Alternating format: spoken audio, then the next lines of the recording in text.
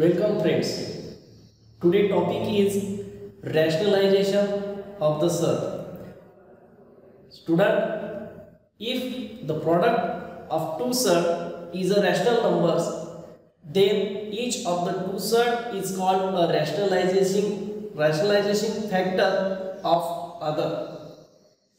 Rationalization आणि याच टॉपिकवर आपल्याला प्रश्न विचारला जातात rationalise the denominator first example is three upon root five root five हा डिनॉमिनेटरला रूट फाईव्ह आहे. आणि या रूट फाईव्हचा आपल्याला रॅशनलायझेशन करायचं आहे. थोडक्यात सोप्या भाषेत सांगायचं तर हे वर्गमूळातलं चिन्ह आपल्याला काढायचं आहे.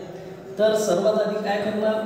थ्री इंटू रूट फाईव्ह जो डिनॉमिनेटर आहे तो न्यूमिनेटरला आणि डिनॉमिनेटरला मल्टिप्लाय करायचा. करूया. Is equal to three upon root five into root five upon root five काय केलं डिनॉमिनेटरने न्यूमिनेटरला आणि डिनॉमिनेटरला मल्टिप्लाय केलेलं आहे. Three into root five three root five upon root five into root five त्यावेळी एक स्टेप मी वाढवतो फाईव्ह इंटू रूट फाईव्ह न्यूमिनेटरचं असं आपण आपण आहे five into root five root twenty five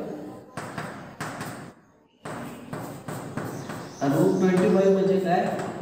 five तुम्हाला लक्षात येईल रूट फाईव्हच्या ऐवजी ते फाईव्ह आलेला आहे.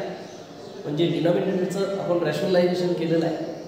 सेकंड एक्झाम्पल पहा one upon root fourteen is equal जसं मागच्या उदाहरणात सोडवलं तसंच या उदाहरणात सोडवायचं आहे. डिनॉमिनेटरने न्यूमिनेटरला आणि डिनॉमिनेटरला मल्टिप्लाय करायचा आहे. जो छेद आहे त्याच्याने अंशाला आणि छेदाला दोघांना गुणायचं आहे. One upon root fourteen into root fourteen upon root fourteen equal to one upon root fourteen upon fourteen 14 into root 14